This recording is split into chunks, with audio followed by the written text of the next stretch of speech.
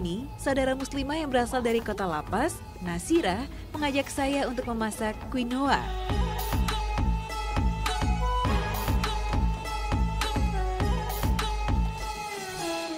Wow, jadi ini adalah Santiago, teman kami yang akan membantu membuatkan olahan makanan quinoa. Di sini sudah ada bahan-bahannya, ada kentang, quinoa, bawang merah, wortel, timun, dan bahan-bahan lainnya.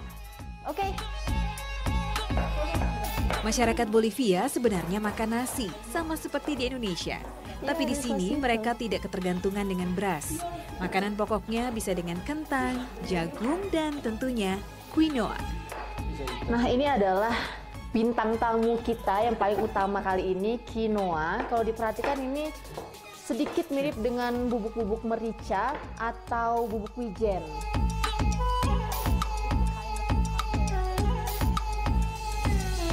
Saya kira dari tadi ini adalah timun, tapi ternyata bukan.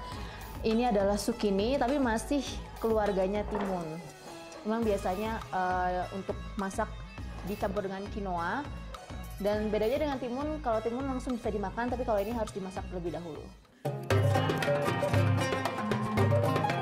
Seperti halnya nasi, quinoa juga selalu dimakan dengan lauk pauk. Santiago kali ini menunjukkan cara memasak sayuran khas Amerika Latin. Hmm, sekilas caranya mirip ya dengan cara masak makanan Indonesia. Tapi di sini mereka tidak menggunakan banyak rempah-rempah, hanya bawang merah dan garam sebagai penguat rasa.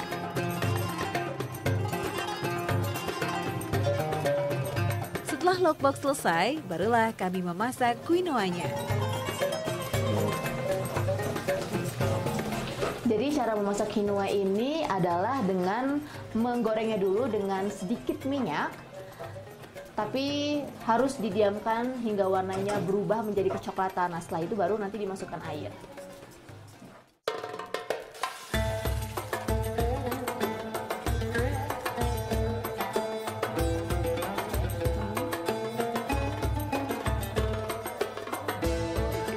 Lebih 15 menit, quinoa bisa dihidangkan bersama lauk yang lain. Hmm, quinoa ini enak sekali dan memang rasanya seperti nasi agak hambar tapi lebih nikmat kalau dimakannya disertai dengan lauk-lauk yang lain. Do you eat quinoa every day during Ramadan? Eh, no todos los días, pero seguido.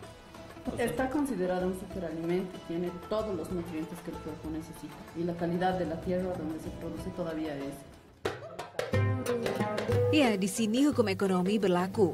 Semakin tinggi permintaan, semakin tinggi pula harganya. Dulu, quinoa bisa dinikmati berbagai kalangan setiap hari.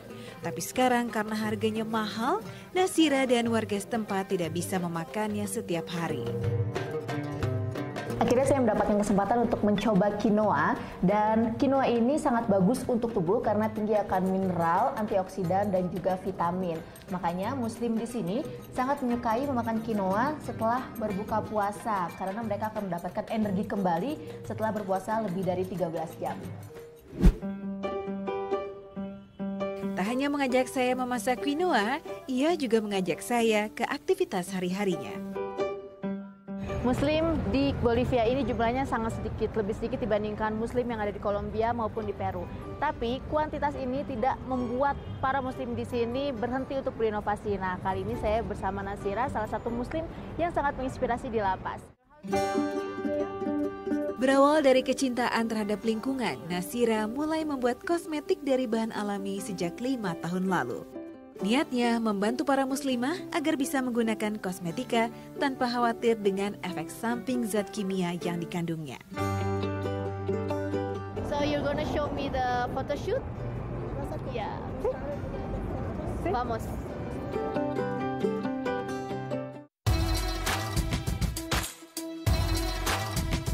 Nah, untuk memasarkan produk-produknya, Nasira rutin mengadakan photoshoot. Modelnya pun merupakan pelanggan setia. Jadi kemotretan ini berfungsi untuk memberitahukan kepada para pelanggan cara memakai produk-produk ini. Karena kalau dilihat sekilas, skincare dan juga kosmetik ini tidak terlihat seperti kosmetik atau skincare pada umumnya. Dan untuk mengkampanyekan juga tentang cintailah alam, dengan menggunakan produk-produk alami. Oke. Okay? Karena menggunakan wadah yang ramah lingkungan, produk Nasira memiliki kemasan yang tidak biasa. Itulah fungsi lain dari pemotretan ini agar masyarakat tahu cara menggunakannya. Kosmetik yang dibuat sangat beragam, dari mulai foundation, eyeliner, maskara, gel alis, dan lipstick. Selain itu, ada juga deodoran, pasta gigi, serta skincare lainnya. Semuanya sering digunakan orang dalam kehidupan sehari-hari. Saya jadi model dadakan, alhamdulillah. Uh, memang produk alami itu lebih gimana ya, lebih enak sekali dipakai, lebih ringan. Setelah mencoba menggunakan produk Nasira, kami beranjak sholat. Saya juga sekalian mencoba kekuatan dari make upnya karena dibuat dari bahan alami, pastinya halal. Wah, ternyata air wudhu pun tetap terserap ke dalam kulit. Lain halnya jika menggunakan makeup anti air. Penasaran? Saya minta Nasira untuk menunjukkan cara membuat kosmetiknya. Katanya sih caranya sangat mudah dan bisa dipraktikkan di rumah.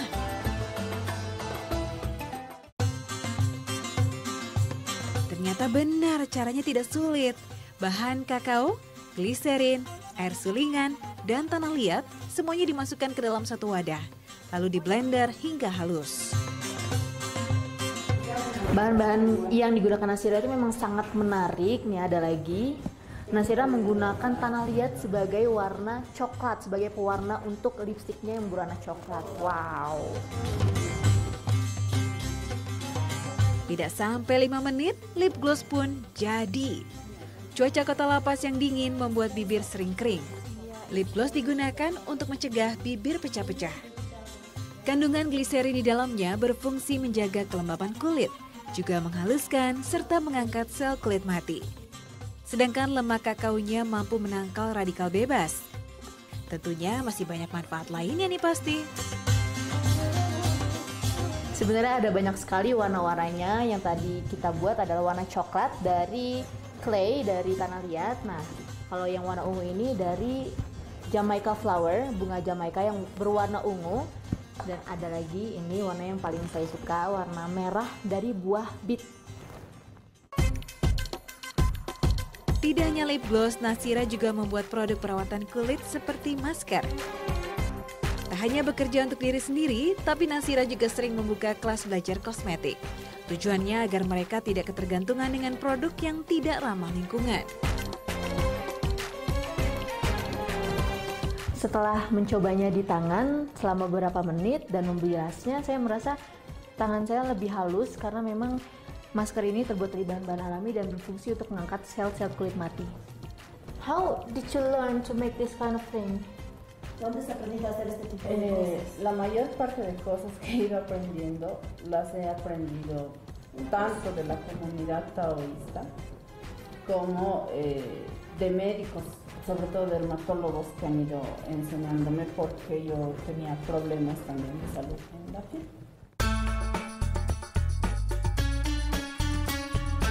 Ini adalah salah satu produk dari Nasira lagi foundation yang menggunakan pewarnanya dari bubuk kokoa. Tidak heran kenapa wanginya itu sangat enak, manis, tidak seperti kosmetik pada umumnya.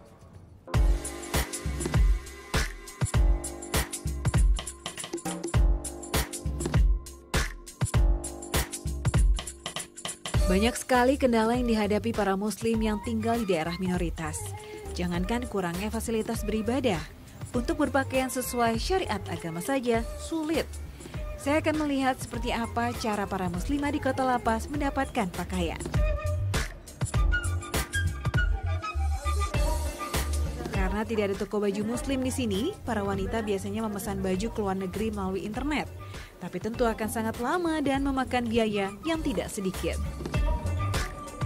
Jadi, cara yang paling efisien dilakukan menjahit sendiri. Biasanya masing-masing melakukannya di rumah, tapi tak jarang mereka berkumpul untuk berbagi desain dan model baju. Jadi pertama-tama kita harus membuat dulu polanya dan pola yang baru dibuat ini untuk model abaya. Bagi seorang muslim menutupi aurat merupakan kewajiban. Model baju muslimah di Indonesia sangat beragam. Sementara di sini hanya bisa membuat seadanya karena keterbatasan. Salah satu cara yang paling mudah untuk membuat bajunya adalah dengan mencontek model dengan dari baju yang sudah ada seperti ini. Untuk pakaian sehari-hari mereka lebih suka baju terusan yang berwarna gelap dan berbahan tebal karena suhu kota lapas sangat dingin. Untuk satu baju biasanya sih menyelesaikannya satu minggu, tapi tak sedikit juga yang bisa menyelesaikan hanya hitungan hari. Saking terbiasanya membuat baju, untuk membuat baju seperti ini membutuhkan waktu hanya dua hari saja. Padahal Aminah bukanlah seorang penjahit profesional. Jika pola sudah dibuat dan bahan sudah lengkap, menjahit baju bukan hal yang sulit. Jadi saya membawa dress dari Indonesia, tapi karena terlalu polos, saya meminta Amina untuk menghiasnya dengan motif-motif dari khas Bolivia.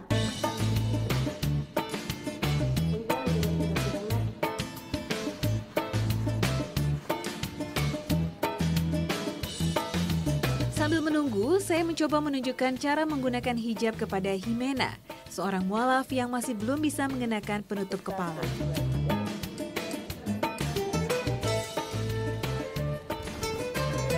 Sekarang saya mau mencoba baju yang Aminah buat hanya dalam waktu empat hari. Wow, indah sekali gaun ini. Sebenarnya gaun ini disediakan oleh Aminah untuk dipinjamkan kepada muslimah yang ingin menikah di masjid ini karena saking susahnya mendapatkan baju sesuai syariat agama Islam. Ini dia hasil permakan Aminah. Nah, lihat kita sudah bertukar kebudayaan. Saya mengenakan baju yang dibuat oleh orang Bolivia dan Himena mengenakan baju yang saya bawa dari Indonesia. Sangat menyenangkan sekali bertukar kebiasaan dan kebudayaan seperti ini. Alhamdulillah. Meskipun hidup di kota lapas membuat mereka sulit mendapatkan baju muslim, tapi semangat mereka tidak pernah padam. Selalu ada jalan untuk bertakwa kepada Allah Subhanahu wa taala sesuai dengan Quran Surat Al-Araf ayat 26. Hai anak Adam, sesungguhnya kami telah menurunkan kepadamu pakaian untuk menutup auratmu dan pakaian indah untuk perhiasan. Dan pakaian takwa itulah yang paling baik. Yang demikian itu adalah sebagian dari tanda-tanda kekuasaan Allah. Mudah-mudahan mereka selalu ingat. I brought something. Uh, I know that you don't usually wear this for praying.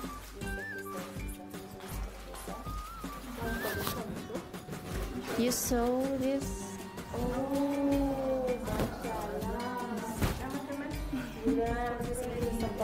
For, yeah, oración. For oración. sí.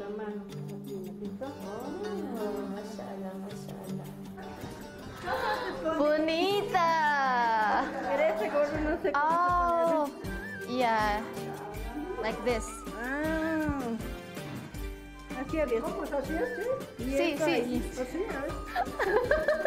¿Cómo es? ¿Esto? Listo. Ah, Like eso Tomás. Yeah. Tomás para.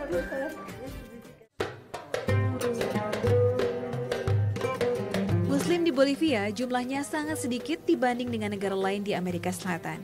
Tapi bukan berarti tidak ada yang mendapatkan hidayah. Hari ini ketika berkunjung ke masjid, kebetulan sekali saya bisa menjadi salah satu saksi dari keislaman seseorang. Anna anna la ilaha la ilaha illallah illallah وأشهد وأشهد أن أن محمدا محمدا رسول الله رسول الله Atestigo Atestigo no hay más divinidad no hay más divinidad que Allah que Alá y su mensajero y su mensajero es Muhammad. es Muhammad.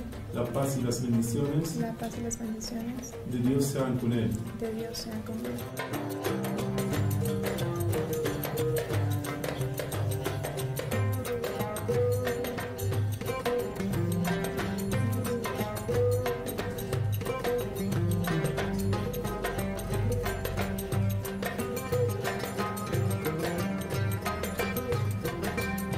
How do you feel after uh, taking a shahada? Um, a bit nervous, but I'm excited at the same time. I like it, and I really appreciate this. But there is masjid in Lima. Why did why didn't you take the shahada there?